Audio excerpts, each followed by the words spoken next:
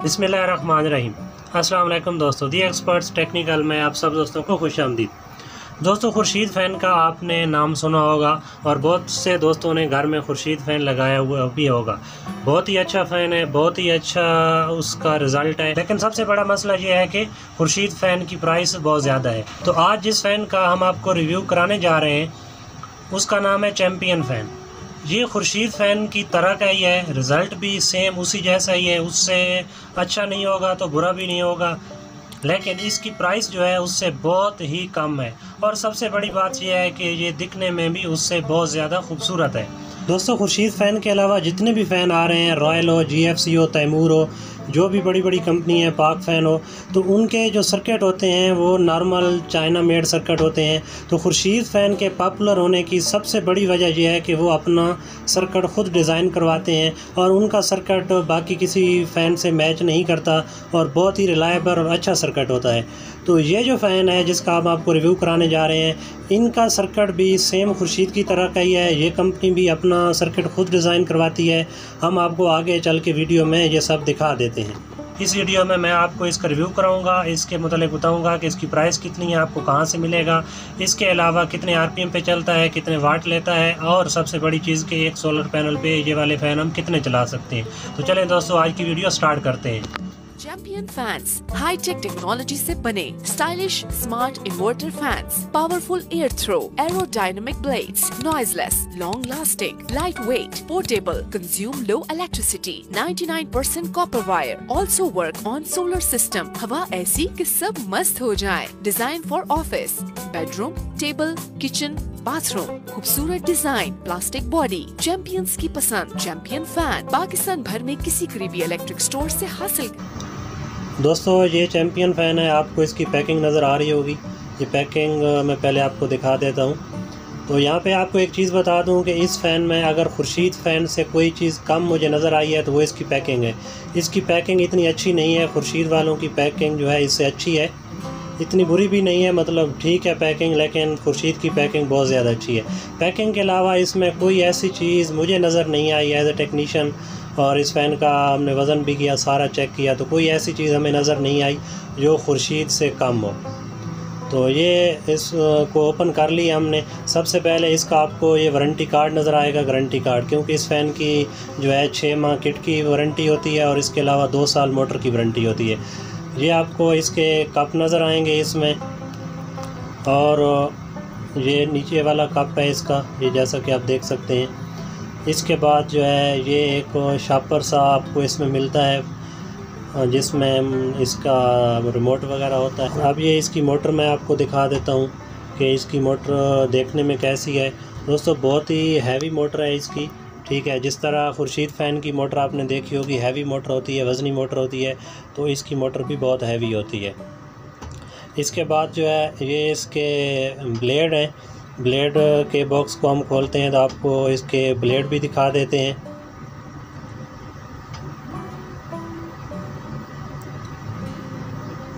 तो ये इसके ब्लेड रहे दोस्तों, ये इसके ब्लेड निकल आए। तो इसका ये राड है। अच्छी किस्म का राड है, वज़नी राड है और ब्लेड भी जो है मोटी चादर से बने हुए हैं, बहुत ही अच्छे ब्लेड हैं और इनके सेंटर में एक कट सा बना हुआ है, सबसे जो बेहतरीन चीज़ मुझे नज़र आई है, वो एयर थ्रो जो है आपका ज़्यादा बनता है, ये सेंटर में जो इसका कट टाइप नज़र आ रहा है।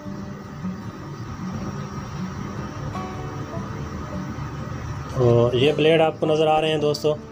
तो यहाँ पे आपको एक चीज़ बता दूँ दोस्तों कि इसके कनेक्शन वगैरह मैं आपको नहीं बताऊँगा क्योंकि हर बंदे को पता है कि ए सी फ़ैन के कनेक्शन कैसे किए जाते हैं नॉर्मल ए सी फ़ैन या खुर्शीद वाले के जिस तरह कनेक्शन होते हैं, इसके भी कनेक्शन वैसे ही किए जाते हैं। मैं सिर्फ़ आपको इसका रिव्यू कराऊँगा और इसकी कीमत के बारे में बताऊँगा आर के बारे में, इसके आरपीएम कितने होते हैं। तो अब आपने ब्लेड देख लिए दोस्तों। इसके बाद जो है हम आपको इसकी, जो है, इसके साथ जो बैग्स आता है, जिसमें जो है इसका रिमोट होता है, वो आपको दिखा देते हैं। तो ये दोस्तों देख सकते हैं, ये छोटे छोटे इसके साथ ये प्लास्टिक के होते हैं, ये इसके ब्लेडों पे डिज़ाइन लगता है। ये जो डिज़ाइन यहाँ जो ब्लेडों के सुराख बने हुए हैं, यहाँ पे स्क्रू की मदद से लग जाता है और ये दिखने में बहुत ज़्यादा खूबसूरत नज़र आता है। इसके बाद ये इसका रिमोट है आर एफ़ रिमोट होता है, जिस तरह खुर्शीद का आर एफ़ रिमोट है, एक जिस पंखे के साथ कनेक्ट होगी या दोबारा किसी और पंखे से कनेक्ट नहीं होगा। इसके अलावा ये इसकी इंस्ट्रक्शन दी गई होती हैं कि आपने इसको कैसे यूज़ करना है। जिस तरह खुर्शीद फ़ैन में आप नया पंखा लेते हैं तो उसके रिमोट को पंखे के साथ कनेक्ट करना पड़ता है। उसके लिए पंखा आपने ऑन करना होता है और उसका सेंटर वाला एक बटन दबाना होता है। जब दो दफ़ा बीप आए तो आपका जो रिमोट है वो पंखे के साथ कनेक्ट हो जाता है।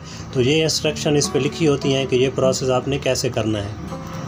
अब जो है आपको मैं इसकी मोटर दिखा देता हूँ। तो दोस्तों, ये मोटर है, बहुत ही फिनिशिंग है इसमें। फिनिशिंग से बना हुआ है अच्छा पेंट हुआ हुआ है।